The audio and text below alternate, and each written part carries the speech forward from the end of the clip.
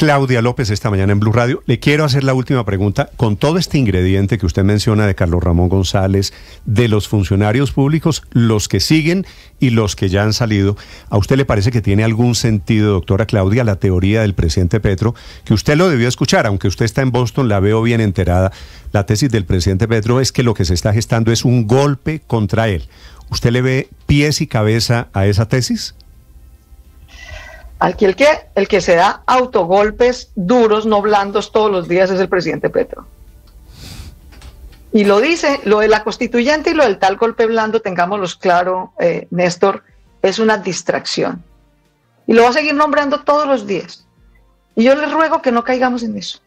Que no le dediquen un minuto de sus micrófonos a la autodistracción que se inventa el presidente. Tiene dos palabras, golpe blando y constituyente para distraer la atención de su responsabilidad en que estén asesinando a nuestros soldados en el Cauca porque no llegan los refuerzos a tiempo, en que se esté inundando la Mojana porque la Unidad Nacional de Gestión del Riesgo ha estado dedicada a la corrupción, en que no se cumplan los mandatos del gobierno porque el señor está dedicado a hacer política desde una tarima todos los días en vez de gobernar.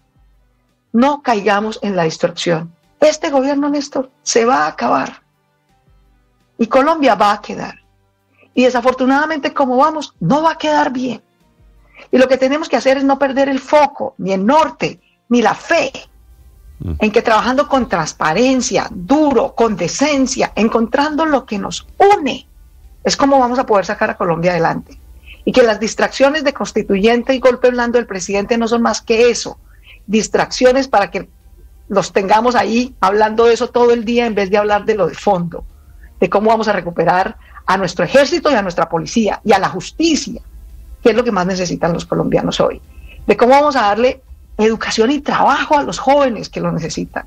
De cómo tendremos más manzanas del cuidado, de cómo vamos a sacar más metros en toda Colombia adelante y no solo en Bogotá.